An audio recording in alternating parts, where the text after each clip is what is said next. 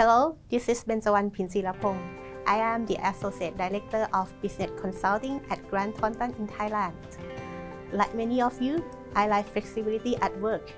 The COVID-19 pandemic forced companies around the world to realize the importance of their people and adopt the concept of the hybrid workplace to ensure the safety of their people as well as business continuity. A hybrid work model allows employees to better manage their time. This usually results in higher employee productivity and satisfaction, as employees can choose to commute less to work, which allows them to allocate more time to tasks, avoid unnecessary noises or interruption from the traditional office environments, and spend more time with family. More importantly, the companies that adopt a hybrid work model could see higher level of employee engagement, 15 to 40% greater productivity, and a 10 to 15% lower rate of employee turnover.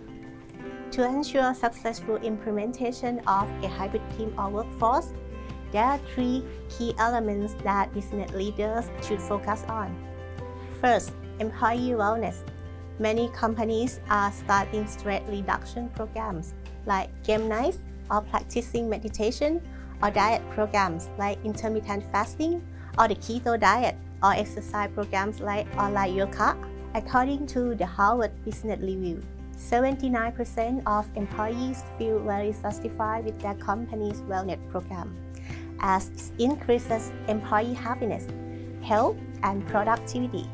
They tend to stay with the company longer and refer other talent to the company as well. Second, clear and proactive communication. Who should employee contact in case of emergency? How often should you catch up with your team? How should staff escalate problems? Your company must set clear guidelines and policy to address all these questions. In addition, companies should also encourage team communication through group chats discussion groups, online games, professional development courses, and virtual lunches or team building activities.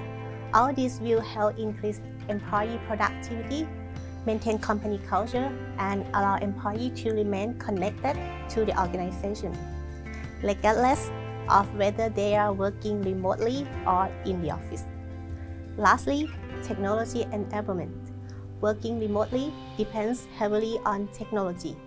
Ask yourself, what platform will you use to communicate with your teams or have meetings with your customers? If you want to share and work on the same documents in real time with teammates, what application will you use with the right technology?